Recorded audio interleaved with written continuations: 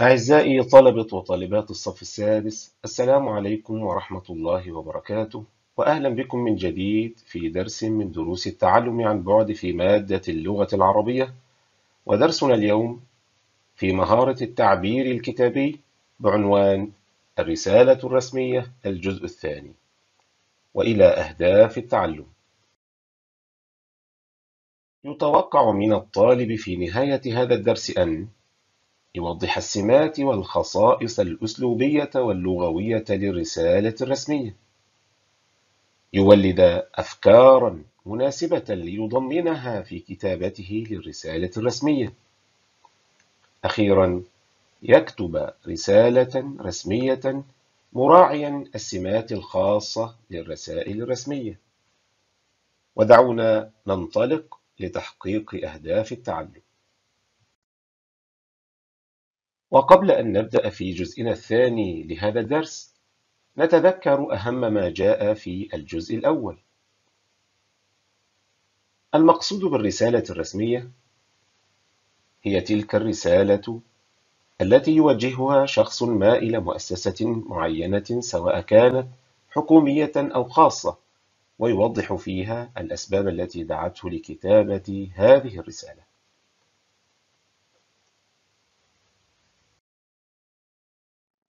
أيضا أعزائي الطلبة تعرفنا على عناصر الرسالة الرسمية وهي كما موضحة في الرسالة التي أمامكم تاريخ الرسالة عنوان الرسالة المرسل إليه بصفته التحية عرض الموضوع أخيرا اسم المرسل وتوقيعه. والآن أعزائي الطلبة نتعرف أهم الخصائص اللغوية والأسلوبية لكتابة الرسائل الرسمية. ولكن من خلال هذا النموذج والموجود في مصدر التعلم في الصفحة الواحدة والثلاثين. أول هذه الخصائص أبنائي اللغة المباشرة والواضحة واستخدام العبارات الموجزة والمحددة. نجد ذلك في نعلمكم أننا نعاني من مشكلة لذا نأمل منكم التكرم بتركيب ستائر لها. كلام محدد وواضح. أيضا من هذه الخصائص الموضوعية والابتعاد عن الكلمات التي تدل على العاطفة. فلا نجد في الرسالة الرسمية مشاعر أو عاطفة.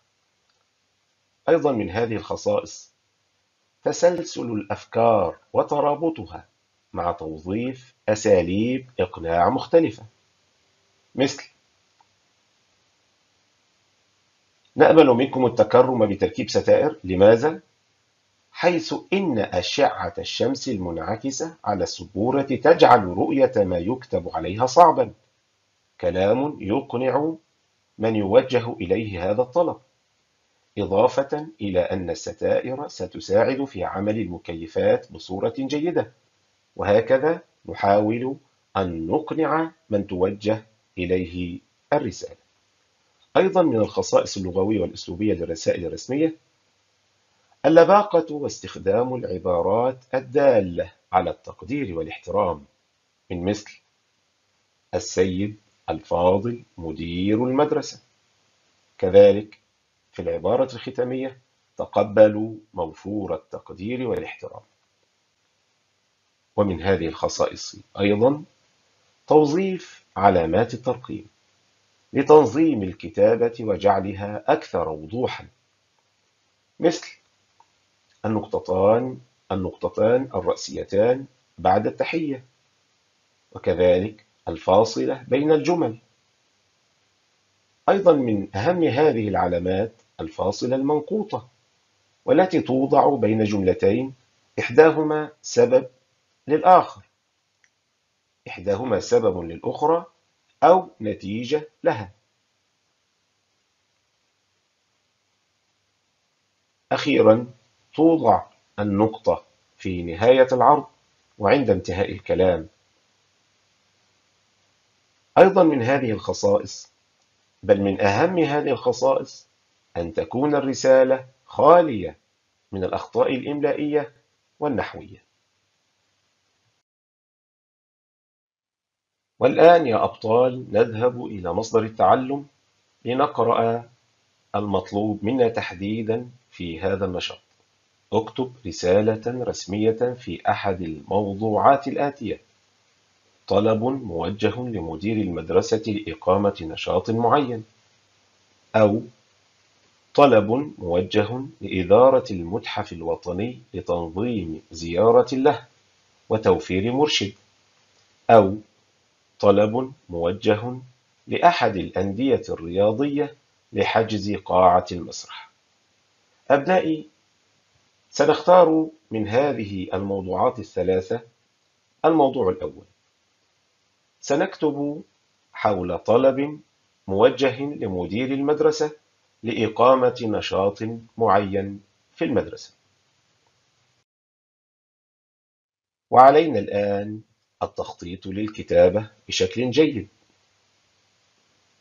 كما هو موضح في الصفحة الثانية والثلاثين في مصدر التعلم اتبع الخطوات الآتية لكتابة الرسالة بشكل صحيح.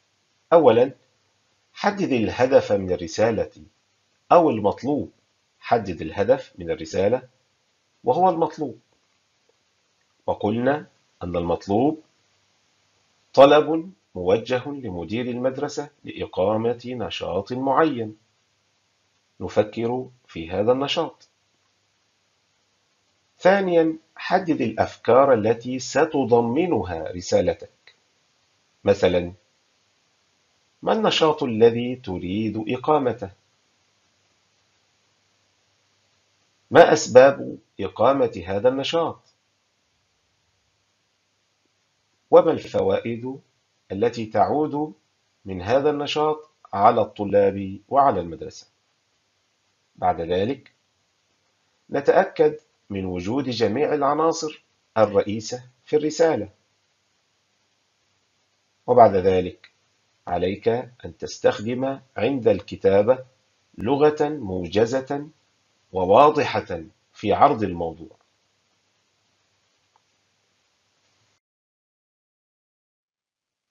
والآن جاء دور توظيف ما قمنا بتجهيزه وإعداده في نهاية الجزء الأول لنستخدمه في كتابة هذه الرسالة الرسمية.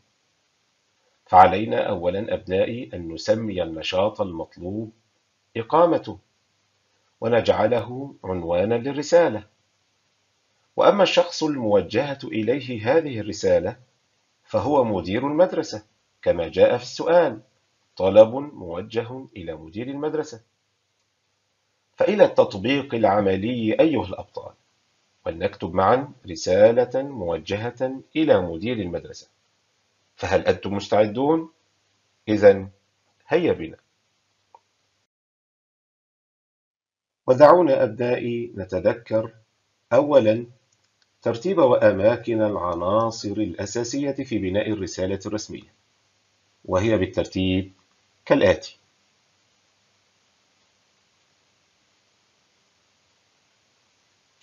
هذه أماكنها.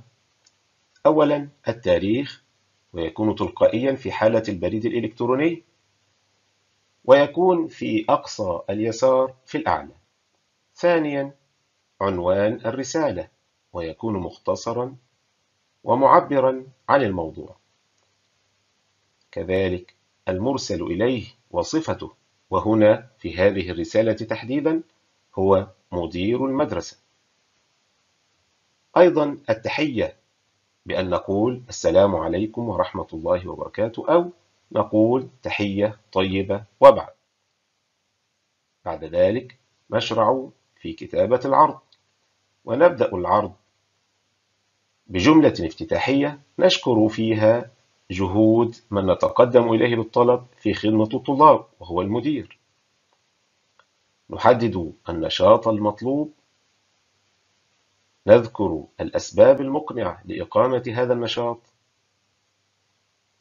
والفوائد التي تعود على الطلاب والمدرسة من هذا النشاط. أخيرا في نهاية العرض نختم بجملة ختامية مثل ولكم جزيل الشكر والتقدير. وفي النهاية وفي أسفل الرسالة في اليسار الاسم والتوقيع. اسم المرسل وتوقيعه.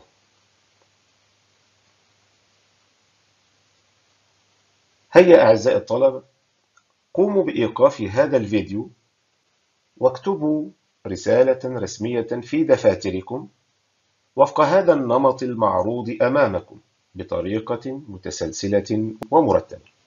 تفضلوا.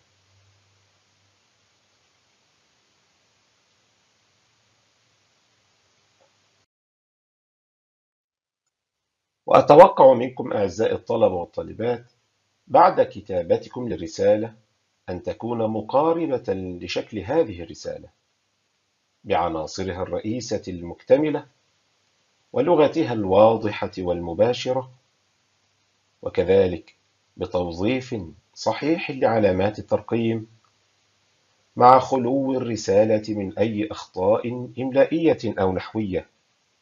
وهكذا أبنائي وبناتي أضمن لكم بإذن الله العلامة الكاملة في كتابة الرسالة الرسمية. إن نحن كتبنا على هذا النحو.